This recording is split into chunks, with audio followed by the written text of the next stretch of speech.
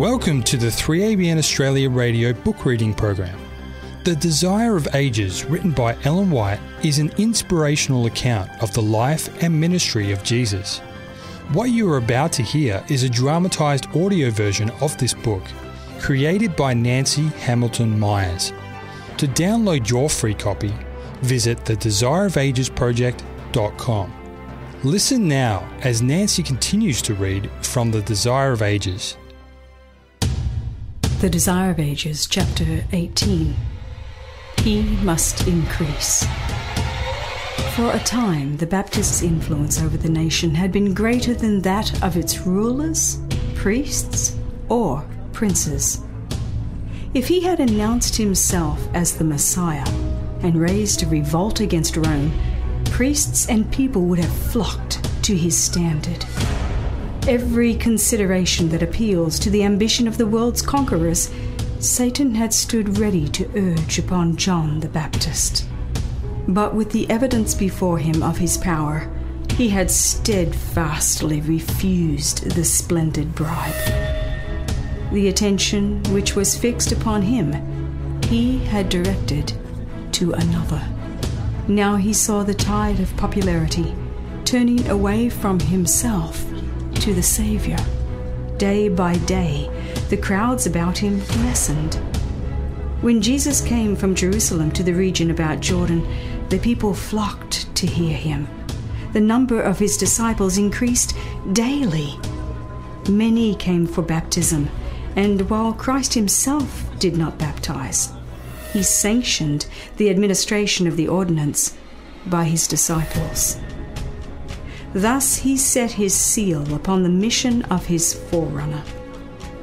But the disciples of John looked with jealousy upon the growing popularity of Jesus. They stood ready to criticize his work, and it was not long before they found occasion.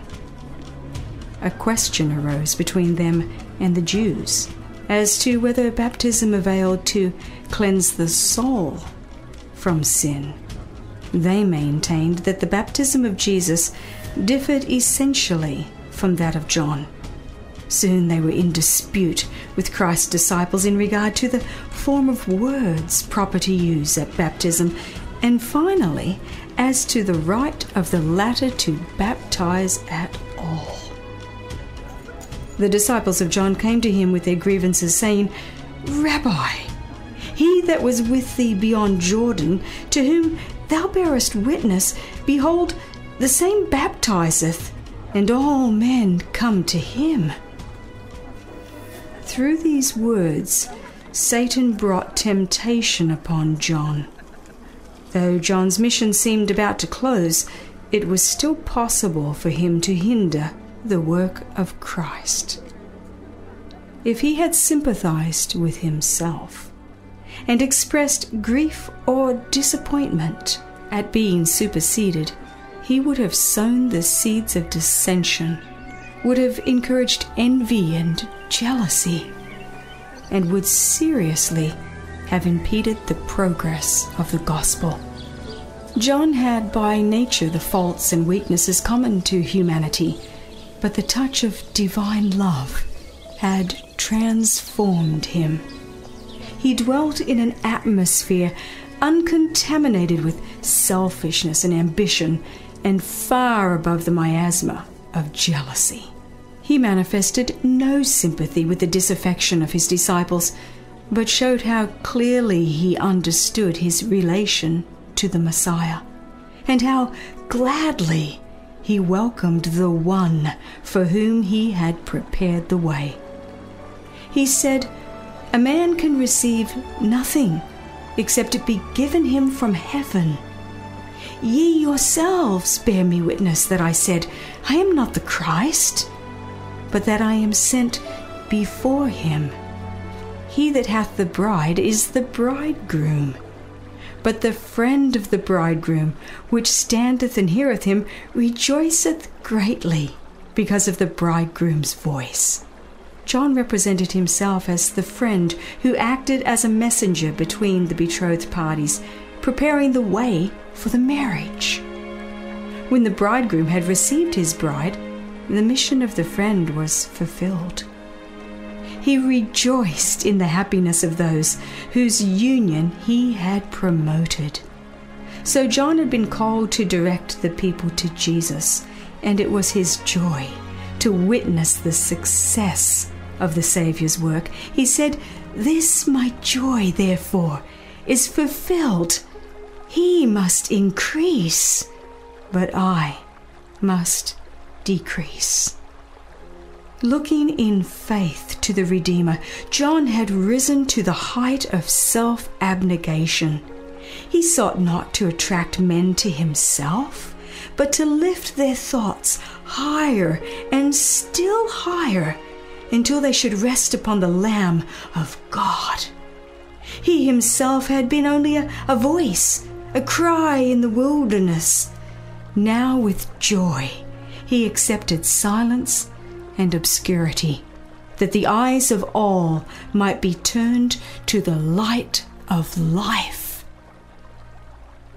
Those who are true to their calling as messengers for God will not seek honor for themselves. Love for self will be swallowed up in love for Christ.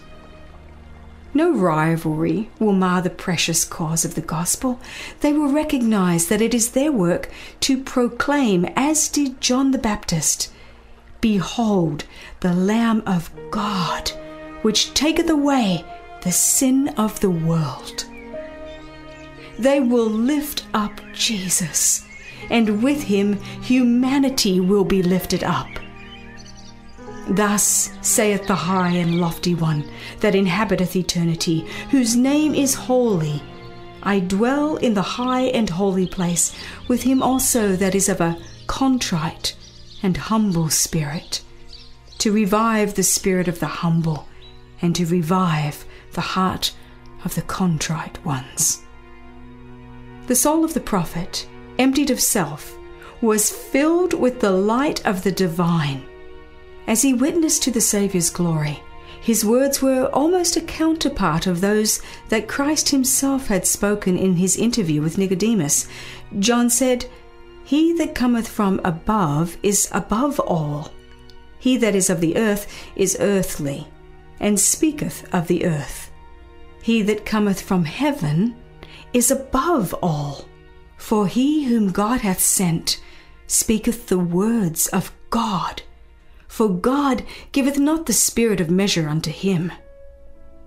Christ could say, I seek not my own will, but the will of the Father which hath sent me.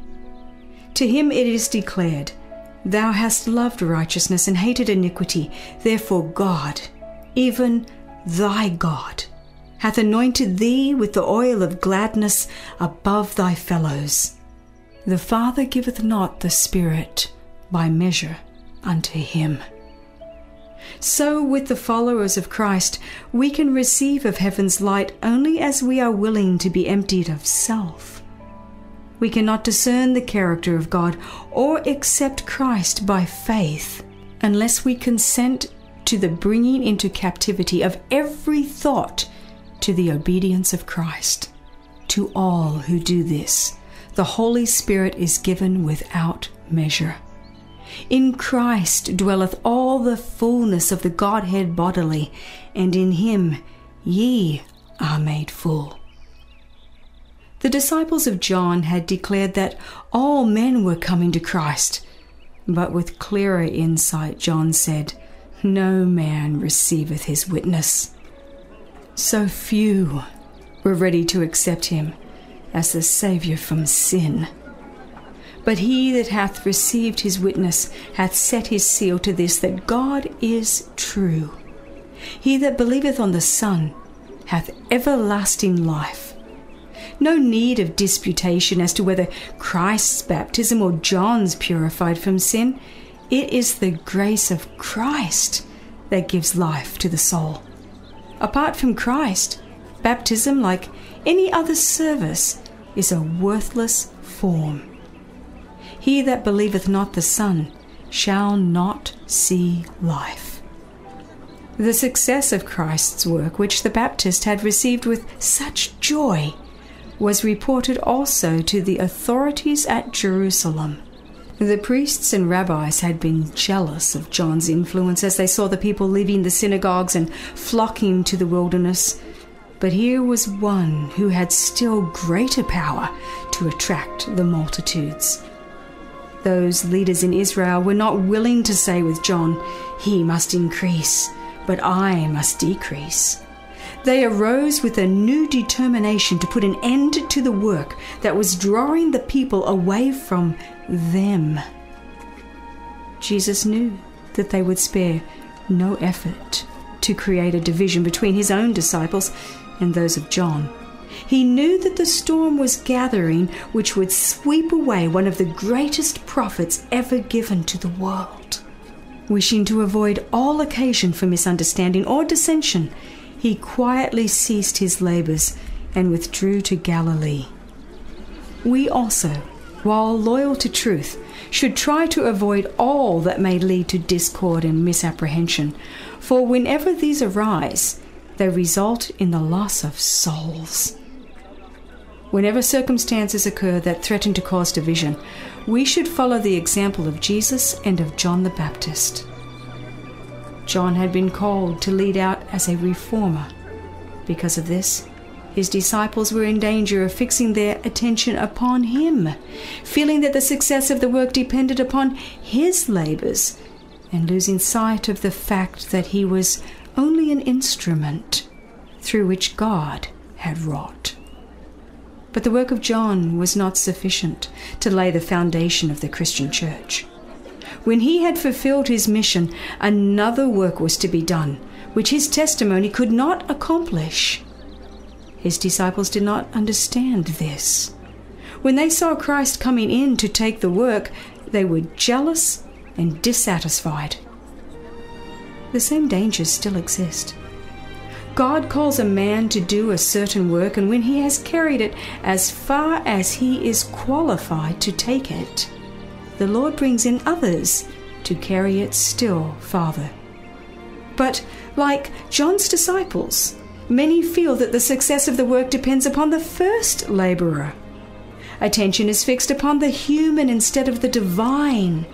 Jealousy comes in, and the work of God is marred. The one thus unduly honored is tempted to cherish self confidence. He does not realize his dependence on God. The people are taught to rely on man for guidance, and thus they fall into error and are led away from God. The work of God is not to bear the image and superscription of man. From time to time, the Lord will bring in different agencies through whom his purpose can best be accomplished. Happy are they who are willing for self to be humbled, saying with John the Baptist, He must increase, but I must decrease. Join us next time as Nancy Hamilton Myers continues her dramatised audiobook, The Desire of Ages, written by Ellen G. White. This program has been brought to you by 3ABN Australia Radio.